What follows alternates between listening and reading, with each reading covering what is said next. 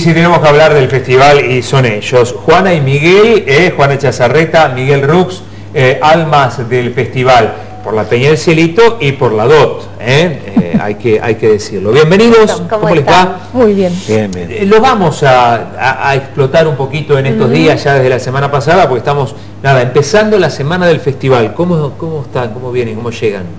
Ya estamos. O sea, Prendiendo velas. Al hay tiempo. buen clima, ¿no? Hay, tiempo, ¿no? ah, seguro buen clima. Sí, ¿no? Ya miramos Sí, el clima. Ay, deben estar con eso. Noches lindas. Sí, no muy acaloradas, pero lindas noches, 14, 15 grados, está bueno. Sí, claro, Bien. para Tandil está O sea, bárbaro. vamos a tener clima ideal, música ideal, comida ideal. ¿Qué más ¿Qué podemos pedir? más? Sí. ¿Qué? Que Entrada gratuita. Entrada gratuita, que la gente vaya a disfrutar realmente. Qué maravilla, qué maravilla. Bueno, el ballet, ¿cómo se está preparando? Bueno, tenemos entre todos los ballets son más o menos 120 bailarines, porque van a bailar de los más chiquititos, preinfantil, infantil, prejuvenil, juvenil, ballet mayor, ballet de adultos. Este, sí, yo creo que son entre 20 120 y 140 bailarines que van a ir este, actuando en las distintas jornadas, junto a un montón de artistas locales que quiero agradecer la, la- la predisposición para actuar. Eh, mucha gente que viene del interior también a, a cantar, no, no, no los quiero nombrar porque me voy a olvidar de alguno y voy a quedar mal. Y bueno, Pero las- todos quieren estar. todos quieren estar, han quedado más de 20 o 25 grupos en lista de espera, por si hay algún espacio, pero bueno, la programación tiene un, un tiempo determinado. ¿Que arranca a qué hora? A las 20 horas, y bueno, eh, el escenario mayor va a ser hasta las 21, hasta la 1 y media de la mañana, Bien. más o menos. A partir de ahí se habilita el patio de, de comidas con una guitarreada, para aquellos que se quieran quedar guitarreando en el patio de comidas Qué y lindo. degustando Sí. algún choripano o algún sagui de bondiola y tomando alguna cerveza o vino. Eh, sí, el año pasado incorporamos esa- ese patio de comidas que la, realmente fue Muy buena idea. muy, muy exitoso porque la- incluso mucha juventud que le gusta quedarse guitarreando y, y es parte del folclore, ¿no? Qué Sí, lindo, sí, qué sí. lindo. Bueno, y los artistas que realmente es un lujo. Sí, la verdad que sí. Eh, también están vienen los Chaza el viernes después de, no son mis parientes ellos. No, no, no, no, no. Ah, claro. No tengo ser. de ser, ¿eh? no, Por por eso. No, No, Ana. Juana, fuiste mi alumna, vos cantabas lindo. Canto, sí, pero me falta mucho para llegar a ser un Ah. chaza. Yo soy un eche, pero bueno, eh, van, a- van a Los estar. ser. Eh, va, va a haber bueno el cierre de, de Changos Pasiuk, que por lo que vi en las redes sociales que el otro día estuvo en Cosquín le rompió. Ay, sí. Eh, ¿Dónde está? La rope. sí, ¿Dónde actúa? realmente. Chango está, está Así teniendo... que vamos a tener unas muy lindas jornadas, muy lindas jornadas también de los artistas locales y regionales, ¿no? Porque también ellos tienen la posibilidad de expresar su arte en un escenario donde todas las noches tienen asegurados 3.000, 4.000 espectadores que, que también es, es, digamos, es un, es un mimo para aquel que está empezando, que le gusta, que, que le pone garra al folclore y demás y, y tiene la posibilidad de expresarse en ese escenario. Yo creo que es, es beneficioso para todos. Totalmente. Eh, en este marco, bueno, el salame. No. El salame. Me contaba Miguel antes de, de arrancar la nota que lo llaman de las radios de Buenos Aires porque, claro, dicen, o sea, que el salame tendría, sería más alto que el obelisco. Claro. Si lo pones en... en- Te digo que eso es un atractivo, están todos como locos. Seguro. Sí, sí. Sí, ese es el gancho. Encontraron el gancho Está- espectacular. la gente está como a la expectativa, nos sorprendió, a mí me sorprende realmente porque uno trabaja todos los días de esto, ¿no? Entonces como que nada, no llama la atención porque en, en realidad, eh, ya te digo, la actividad diaria es como que, que- que te, te- te- te du- te duerme en eso.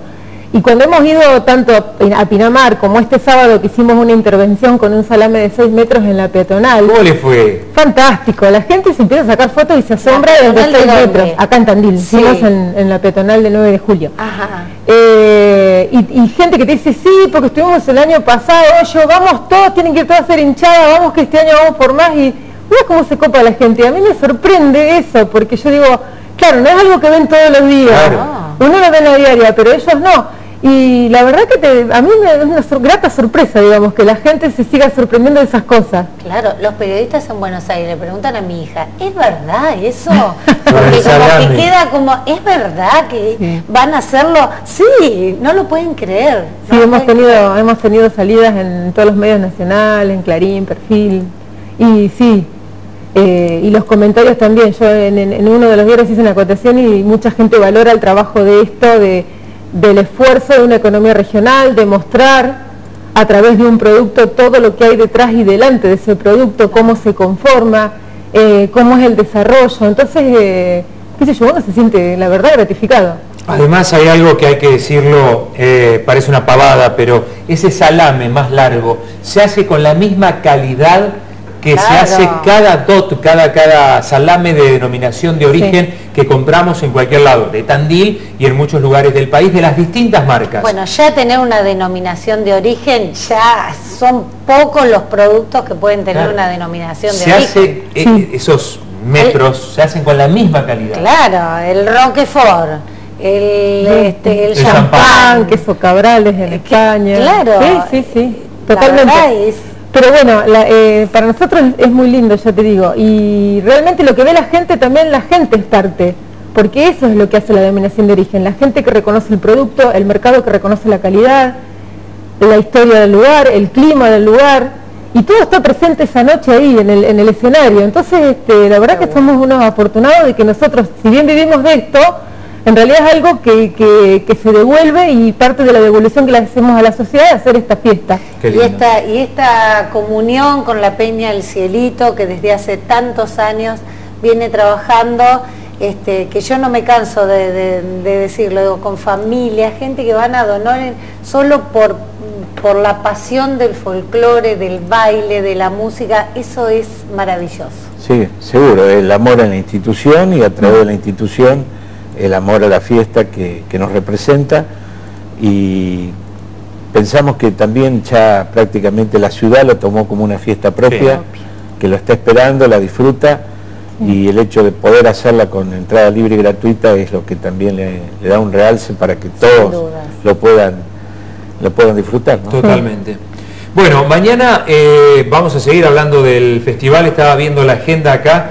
Mañana, si no me equivoco, espera, espera, espera, quiero ver quién está mañana. Creo que, porque como vienen tantos artistas, Claro. vamos a ir teniendo distintas comunicaciones telefónicas con los distintos artistas que vienen. Ah, bien. Así que si todo está bien, Sí. en principio debería estar bien internet para poder nosotros chequear la agenda normalmente, en principio. Eso Sí. siempre pasa, Claudia. Siempre pasa. Sí, sí. Mañana estaríamos eh, charlando, espera, espera, ¿Con uy, Hugo Varela? estábamos. Vamos a hablar con Hugo Varela en la Sí. semana. Vamos a estar hablando con, ¿Con el Chango? el Chango Espaciup. Sí. Si los representantes no disponen lo contrario, Sí. ¿eh? vamos a ir charlando con los distintos, con Lele también, creo que vamos a estar También. hablando Sí, un día de estos.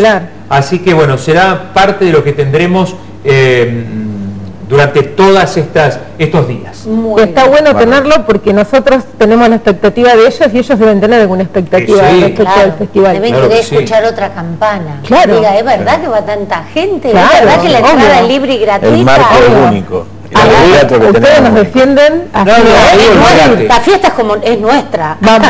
Olvídate, eso quédate tranquila.